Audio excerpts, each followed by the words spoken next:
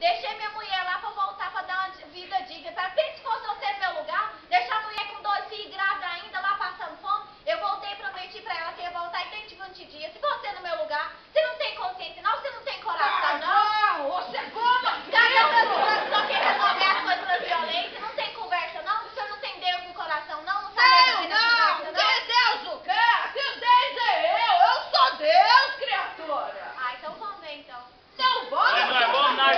justiça, nós vamos na justiça reivindicar nossos direitos. Quem falou que vocês têm força? Você quer trabalhar Não sai não, se eu não sair também eu morro aqui, mas eu morro com dignidade, que eu falei que minha mulher e eu voltar pra dar uma vida digna pra meu filho. Tô vendo.